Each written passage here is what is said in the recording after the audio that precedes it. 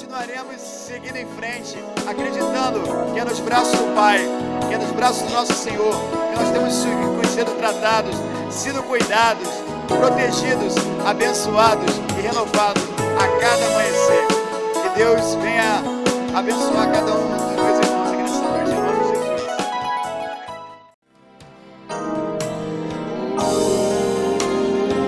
de a minha alma agradece pela morte da cruz.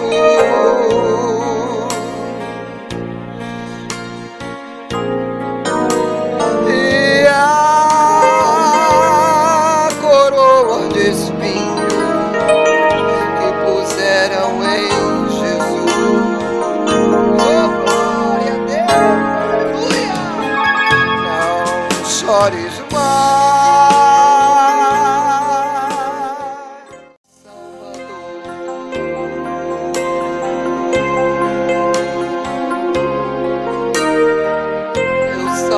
tú.